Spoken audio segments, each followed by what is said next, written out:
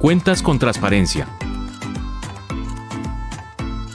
Bienestar universitario. Orientación educativa. La rendición de cuentas 2023 se acerca. Conoce algunos de los datos de la gestión en orientación educativa. 14 grupos de representación se consolidaron en el área cultural con 276 participantes. 12 cursos complementarios fueron ofertados con 182 asistentes.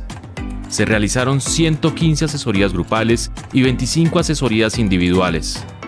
46 participantes en la prueba vocacional del programa Jóvenes a la U. Súmate a la rendición de cuentas 2023. ¿Tienes preguntas o sugerencias?